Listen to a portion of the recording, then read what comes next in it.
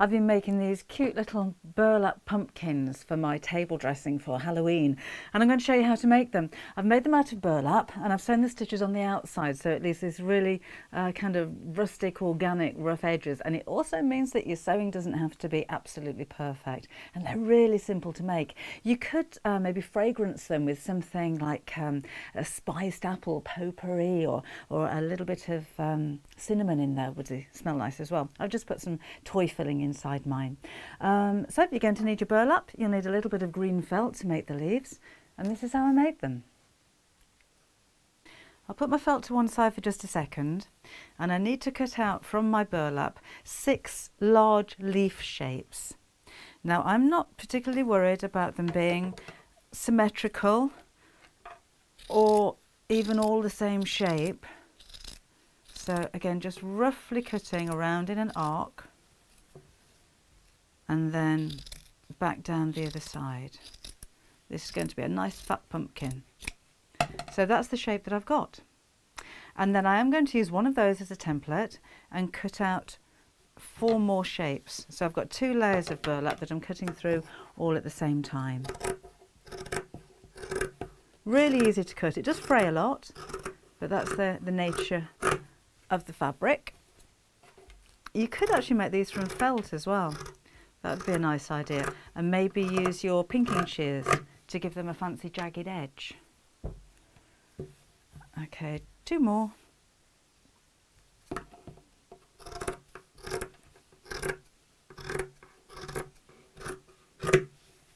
and then we'll sew them together. I've put a zigzag stitch on my sewing machine and I've shortened it quite a bit so that um, the fabric doesn't actually fray too much. I don't, I don't mind a little bit of fraying on the edge of the fabric, but I don't want it to come undone. Just pop that to one side and then, whoops, stay there. And then we'll sew these together.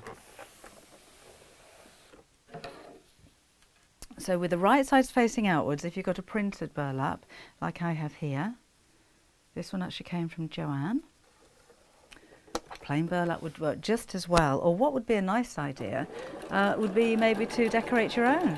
So you could use fabric paints, you know, it's not like these are going to go in the wash. So if you have any alcohol ink pens or paints, then you could paint them orange or you could paint the outlines of pumpkins um, or faces on them as well, maybe black triangles for eyes and a jagged mouth to make them look a little bit scary. There's one open that up and you can see how the shape starts to form already when you stretch that out. So I'm just going to keep sewing all the way around with the wrong sides together from top to bottom apart from the last piece because the last piece you're going to leave a gap just in the top so that you can actually stuff it. So I'm just lining up those edges so it doesn't have to be particularly perfect.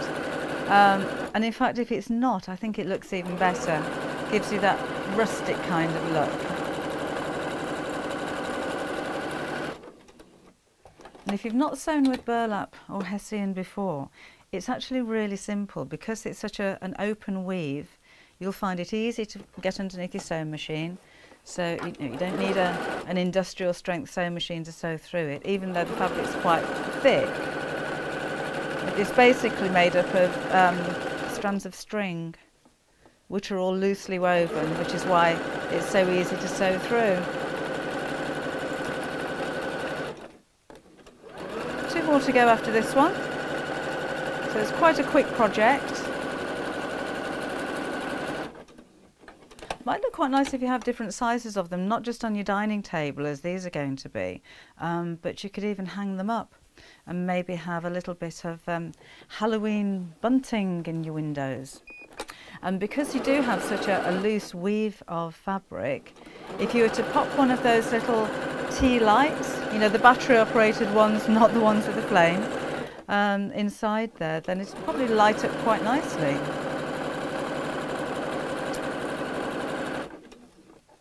Almost there. You see I've got quite a lot of layers going over the ends now, but it's still quite easy to sew through. So just one more piece in there. So it's starting to look a little bit more pumpkin-like now. But remember with this one, I'm going to leave a little bit of an opening just in the top so that I can actually stuff it. So this one I'll sew all the way round. Line those edges up again.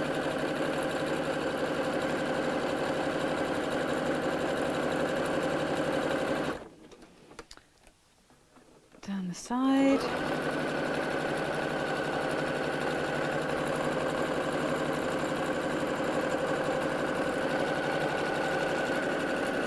Over that thick end piece. And then this is the final piece. So here I'm going to start about three inches from the top and I'll hand sew that closed after I've stuffed it.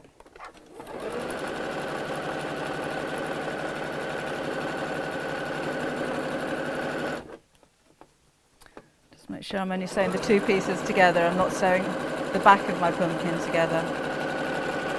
All the way down to the bottom. There we go.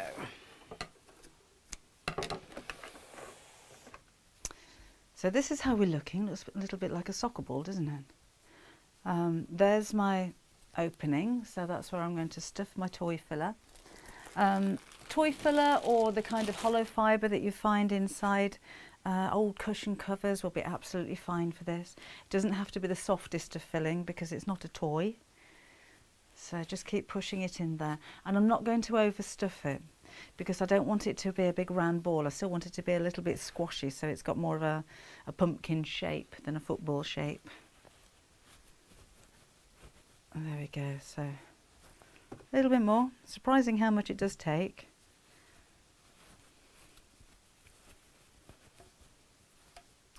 A bit more.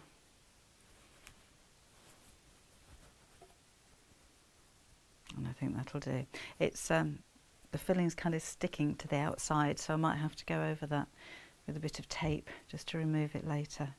So I wanted to squash. I want the top to poke in and I want the base to sit flat. If you put too much stuffing in, it'll kind of rock. It'll look a little bit more like a ball. Um, so I'm just going to sew that opening closed. And because you, you don't really see the stitches because of the loose weave, um, I'm not worried about this being absolutely stitch perfect. So I'm just going to do um, a running stitch across the opening. And then we'll make the stalk.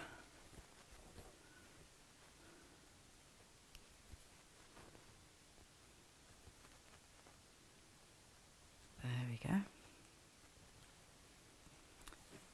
So I'll just knot that off in the centre. Oops, come here.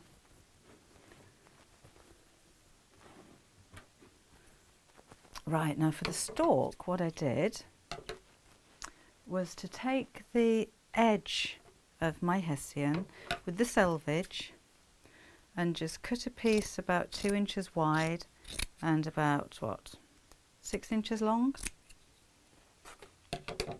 and roll it up.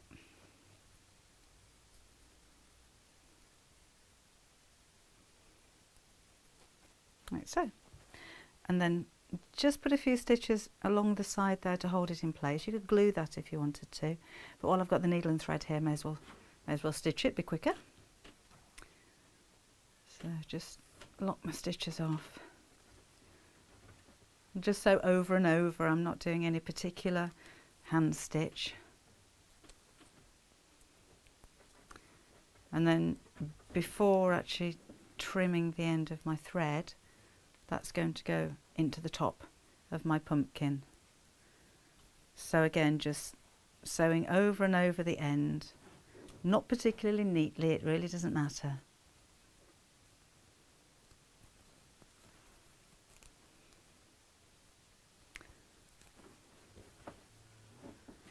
Okay, but I'm not going to actually knot my thread off just yet because I need to put the leaves on so I'll just take a little bit of felt and I'm going to cut two more of those leaf shapes. Again, they don't have to be perfect. So curve around that way and curve around that way. Oh, that went a bit wobbly. That's fine. So there's my two leaves. So I'm just going to open those out. That could be a little bit more pointy. Open those out so they're like that. And these I'll sew through both leaves together and just one stitch straight through into the pumpkin and that'll hold them in place. Okay, then finally I'll just knot off my thread here. Just make sure that my stalk is nice and secure. Knock the stitches out of the way. Snip off my thread. And there. My pumpkin's finished.